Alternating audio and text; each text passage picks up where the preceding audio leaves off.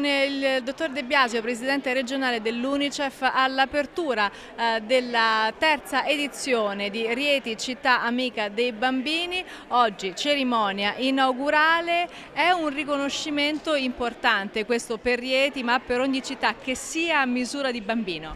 Questo è fuori di dubbio.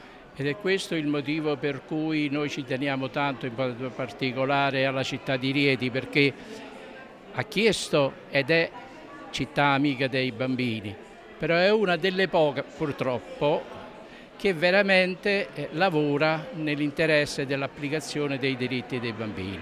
E quindi, come diceva lei, giustamente è il terzo anno che si organizza questa manifestazione ed io sono qui proprio per dire grazie a nome dell'Unicef eh, nazionale.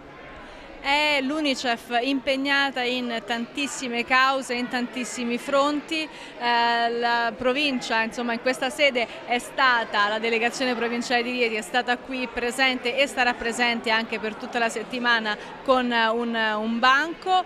Eh, sono tante le emergenze purtroppo nel mondo che richiedono ancora costantemente l'intervento e l'interesse dell'Unicef e di tutte le persone fondamentalmente. Sì, eh, questo è vero in modo particolare poi per i paesi in via di sviluppo che sono quelli che sono stati assegnati all'Unicef dal 1956.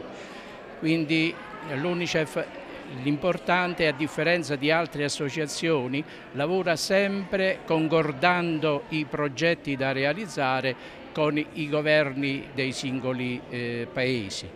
Anche in questo caso c'è il disastro del Nepal, l'Unicef come attività straordinaria ecco, sta raccogliendo i fondi per cercare di continuare a dare aiuti a queste popolazioni. Dico continuare perché quando si tratta di emergenza, anche se si tratta di un paese che non, è, non ha contatti con l'Unicef, l'Unicef è sempre comunque presente.